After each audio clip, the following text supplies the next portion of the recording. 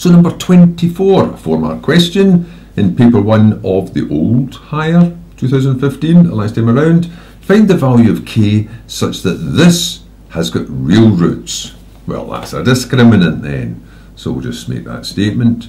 Real roots means that b squared minus 4ac should be greater than or equal to 0.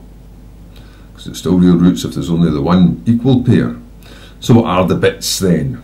So b is the coefficient of x, so that will be that 3 squared minus 4 times a is the coefficient of x squared, and c is this part at the end, this absolute coefficient, the constant. That should be greater than or equal to 0. Now you have to watch now because you're going to have an inequation here, inequality. So that's going to be 4 nines are 36, k squared is greater than or equal to 0.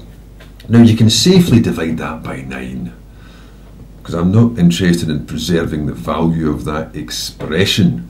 But if you feel threatened into keeping it, I'll just leave it in there just now. That's 1 minus 4k squared is greater than or equal to 0.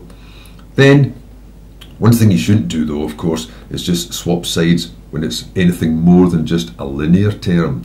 Don't write 9 is greater than or equal to 36k and then do the square root and have it less than or equal to plus or minus. No, if it's anything other than the linear term, keep it all over to one side and factorise it solely that you can interpret the picture, the graph of the answers. So I'm actually going to factorise this. That'll be 1 minus 2k, 1 plus 2k. And the reason for that is I want to know when this expression here, or a ninth of it, it's the same thing, is greater than or equal to 0.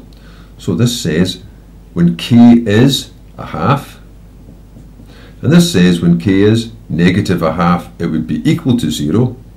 So drawing this graph, which is the one I've used, I've not changed the signs around, I could have flipped the signs over. This is an upside down parabola, so it looks like this. So when is it equal to 0? Those points are included. When is it greater than 0? This is the part greater. So it's in between these two values and including them. So that means the answer is k can be less than or equal to a half or greater than or equal to negative a half.